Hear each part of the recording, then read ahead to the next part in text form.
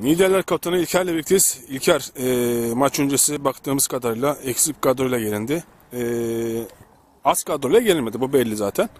Ama e, şunu bir kez daha gösterdin ki Niğdeliler sahaya e, 8 kişiyle çıktığı anda e, eksik değildir. Ve sonuna kadar mücadele eder. E, yense de yenilse de mücadeleyi bırakmaz. Ne diyeceksin?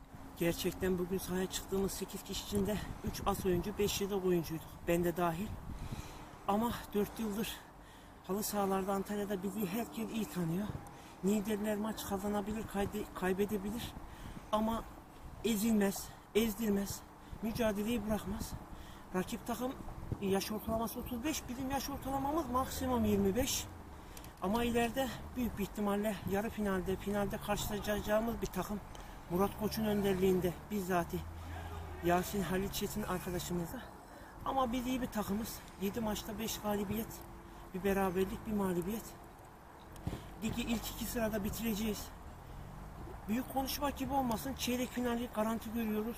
Yarı finali çok büyük ihtimal görüyoruz. Finale de iddialıyız. Bizi bilen biliyor. Saygılarımızla. Ayaklarına sağlık. Eyvallah.